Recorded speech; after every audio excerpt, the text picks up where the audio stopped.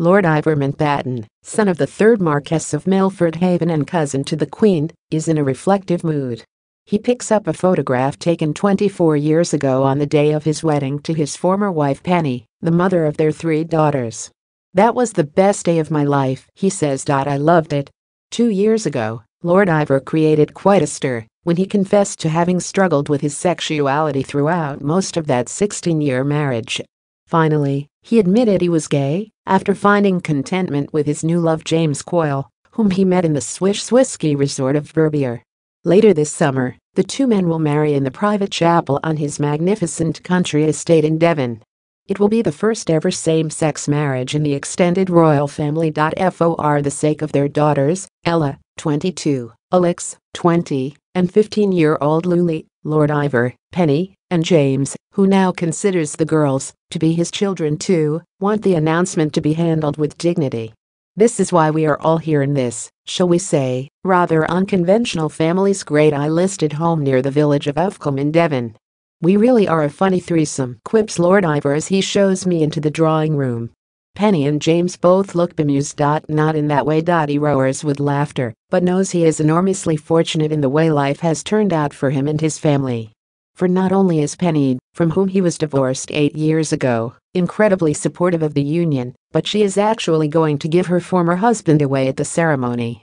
It was the girl's idea, says Penny in her first interview on this most sensitive of subjects. It makes me feel quite emotional. I'm really very touched. Touched, Many women would be trashing the family pile. Penny is the sort of attractive, sparky woman that most red-blooded males would be falling over themselves to whisk up the aisle. Isn't it, well, a little odd to be handing over the husband she once loved with all her heart to another man? Not at all. You and I have got on from the first 10 seconds of meeting each other, haven't we? She says to James, the man who is due to become her former husband's husband. What I don't think Ivar realizes is how much he has changed as a man since he came out. James is hugely responsible for that because he's so much fun. Ivar is so much more relaxed these days. He's so much kinder. He's become a great cook. I now call him Fanny Cradock. He probably wasn't even aware that by keeping his sexuality a secret it was really quite tormenting him. Now it's out he's a completely different person. Everybody says they've never seen him happier. This impending marriage, indeed, has the full blessing of their extended family and those closest to them, including Lord Ivar's lifelong friend Prince Edward, to whose eldest child he is a godparent. The Earl and Countess of Wessex are also godparents to his two eldest daughters. Sophie and Edward know of our plans and are really excited for us, says Lord Ivar. Sadly they can't come to the wedding. Their diaries are arranged months in advance and they're not around, but they adore James Everyone adores him. All my good friends have accepted James. I basically told everyone, I found somebody, it's a bloke. They just started laughing. Then they met James and one particular mate said, if I was gay, I'd certainly go for him. He lowers his voice conspiratorially as Penny and James disappear together to sort out lunch. Now they're both out of the room, I can say they are both so similar. Dot james hates it when I say that, but, oh god, they're so caring and so giving. Growing up in Glasgow was challenging for James. He once overheard his father, who was a strict Catholic, calling him the queer one. He wondered who he was referring to. Doc James was once dangled by his ankles from a bridge, 40 feet over the River Kelvin, by a bunch of thugs. When one of the thugs said, let him go, he assumed they were going to allow him to escape. They were actually going to drop him in the river. He is so sweet. He just thinks the best of everybody. He replaces the photograph of his earlier wedding, attended by Princess Margaret and Prince Edward, on the side. I loved Penny when we were married, as I still do very much, and I loved our family unit, he says. I never thought this would happen. It is brilliant, but I never thought I'd marry a man when I mentioned it to our eldest daughter, Ella, she said, Oh pap, it's not a big deal.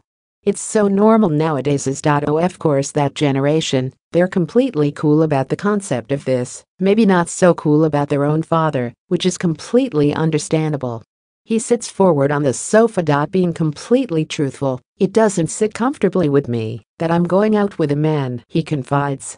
I've lived my whole life as a heterosexual. So, all of a sudden, having a bloke around is unusual, even now. It's brilliant but I suppose in an ideal world I would prefer to have a wife, because that has always been the norm. We were talking with friends in Bermuda about this nature-nurture business, not so long ago.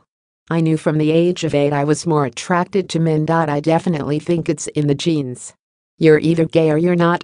Penny and James, an airline cabin services director, return to the room.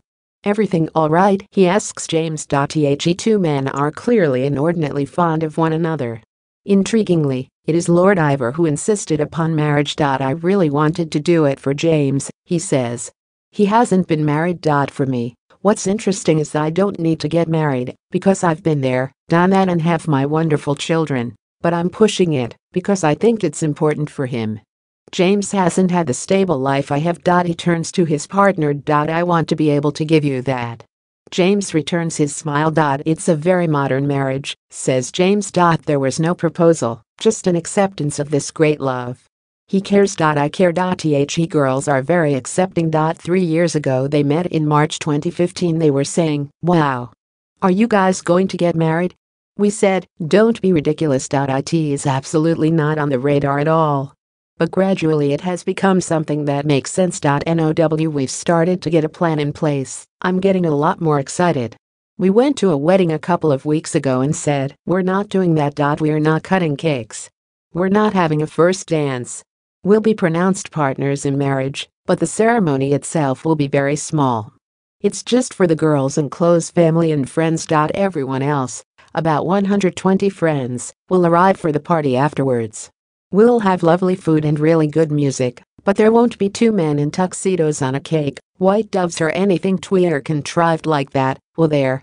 Lord Ivar looks appalled at the very thought of it. We'll probably have cheese instead of cake. Penny, who now shares her life with her partner of two years, IT consultant David Hurst, in central London, is helping James with the wedding arrangements because, she teases, Ivar will just delegate, won't you darling? With a flourishing career as a brand ambassador, she has, she says, never been happier. This is the only interview she has given since her former husband came out, and she is determined to do so with absolute honesty.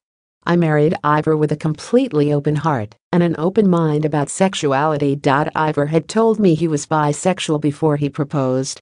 I didn't have any fears about it because I loved him, and love conquers all, doesn't it? What I hadn't realized is how jealous I would feel down the line when he was finding men attractive and how, ultimately, that made me feel that I wasn't good enough. When I started feeling lonely and depressed, I dulled those feelings with alcohol, and of course, that made me more depressed. That was difficult for Ivar. If there were two things Ivar and I could have changed about ourselves in our marriage, I wouldn't have drunk so much and you would, perhaps, have changed your sexuality Lord Ivar nods. Certainly, without doubt, most gay blokes my age would prefer to be heterosexual. The hassle of having to keep it a secret, the dot dot dot he looks truly anguished. dot James does too.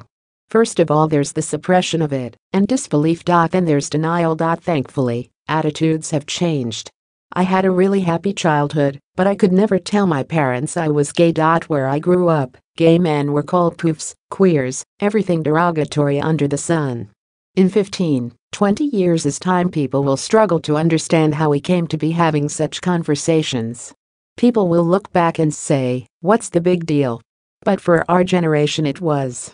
Penny, the daughter of a Sotheby's representative, was 27 years old and had known Lord Ivar for two months before he confessed to her about his attraction to men. After studying to be a geologist, he told her he'd had a brief relationship with a man in Venezuela before returning to in his late 20s to run the family's huge Grade 1 listed Elizabethan country house, Moyns Park, in Steeple Bumpstead, Essex. I didn't want to get married and have a secret, he explains today. It would be unfair to trap someone into a marriage and then tell them you're bisexual, he says. I hadn't really told anybody else. It was a little secret that a lot of men had at that time. My fling in Venezuela just felt. Dot dot dot how do I describe it? Right. But I sort of had to suppress those feelings, particularly in my position. I didn't want to go and have assignations that might cause controversy. It was the convention of our generation that you got married to a woman Penny says she was deeply touched by his confession. When I met Ivar he seemed so alone, so I kept inviting him to all the parties and events I was organizing, she says. We were in Hampshire, where I was renting a cottage, and we went for a long walk. When we had a chat about the fact he thought he might be bisexual, at least he said he was attracted to men as well as women, and never thought he would get married. I could sense he was quite relieved sharing his secret, particularly with someone who was so receptive. Because I have lots of gay friends and cousins, I'm very open-minded about sexuality. He seemed like he'd offloaded a huge burden. It definitely made us closer from that moment onwards because he trusted me. Over the following months their friendship deepened. We first got together when Ivar invited me up for his 30th birthday party at Moyns. I stayed on afterwards to help him start his event management business and sort of never left after that. I guess we fell in love while organizing Moyns as a business and riding horses daily around the estate, making plans. Then, one day, Ivar said, If I ask you to marry me, would you say yes? She said she would, and did. Dot penny gestures to the photograph of that very proper wedding back in April 1994. I was wearing the heavy family tiara which made my hair flop forwards. Dot i remember Princess Margaret was sticking in the pins to hold it on when we signed the register. Those early years of marriage were blissfully happy times, glamorous trips around the world, family holidays in Bermuda, long weekends spent with Joan Collins in the south of France, Lord Ivar readily admits the Mountbatten name opens doors, but it comes with a responsibility too. I think you're always aware of that, he says. I mean you can't run naked down the high street, can you? They left Moyns for Bridwell when their daughter Ella was nearly two and Penny was pregnant with Alex. It was idyllic, says Penny. Bridwell is the most wonderful family home. The girls learned to ride their bikes on the drive, and every evening we'd have plays or they'd be swimming in the pool. We used to fill this house every weekend with house parties and entertain all the time, didn't we? On the face of it, the Mountbattens had one of the happiest marriages in the aristocratic circles within which they mixed. But, privately, Lord Ivar was discreetly exploring his sexuality. Penny accepted me for who I was, so perhaps I relaxed and felt I could explore that part of me as our marriage matured. Maybe what happened is, with me being so open, I'd mention it to Penny and that would make her upset. Perhaps, on reflection, I shouldn't have said anything, but, again, I don't want ever to hide anything from anybody. Penny interjects, but I always asked for and demanded complete honesty from Ivar. Perhaps that is a self-destructive part of me, but I wanted to know. I gave him his freedom because I wanted him to be happy. Lord Ivar considers this. I was never unhappy in our marriage, he says. I adored Penny, really loved her, but I always describe it as trying to get a square peg into a round hole. Dot deep, deep down, since her childhood, Penny hasn't valued herself very highly and couldn't accept I loved her. Happy as each of them is now, their regret is a palpable thing. Ultimately, I remember you saying I want to have someone who wants me for me, and I couldn't give you that, says Lord Ivar. Fifteen years after that joyous wedding day, Penny left him. I gave back all the chattels, all the Mountbatten jewels and left with nothing, she says. There was quite a lot of judgment, why has she done this? Because hardly anyone knew about Ivar's sexuality, which was hard to swallow. But I was approaching 40 and thought, it's now or never. I'm going to stay in this marriage, where I don't feel our relationship can ever be hold or leave. I knew Ivar couldn't be his authentic self unless I left. We both had to take wing and be the people we needed to be. Today, Bridwell is on the market. Lord Ivar wants to begin his married life in a new smaller home where each of his daughters has a bedroom, but he is able to travel at whim with James. As you get older you want an easier life, he says. A big house can be a real burden. I think I'd have done a lot more with my life if I hadn't had to come back from South America to look after my family home, Moyns, which was vast. I'm a geologist by profession and would have been really happy to continue living in South America. Once Penny and I parted company I knew I didn't want to keep up the pretense. Then when I met James, I thought, this is exactly the route I want. We want to grow old together. Meanwhile, Penny spends her time in London, where she can concentrate on her new business, Penny Mountbatten London. Her career, she says, became my lifeline in those first difficult years of her life apart for Lord Ivar. I said to James this morning, I don't think I've ever felt as happy as I do right now. I've always loved Ivar wholeheartedly, and he knows me better than anyone else on this planet. He often tells me how proud he is of what I've achieved. I am proud too. Finally, I am able to love myself, and the reason this marriage is acceptable to all of us, particularly our lovely daughters, is because of the character of James, the nature of the beast, the gorgeous beast.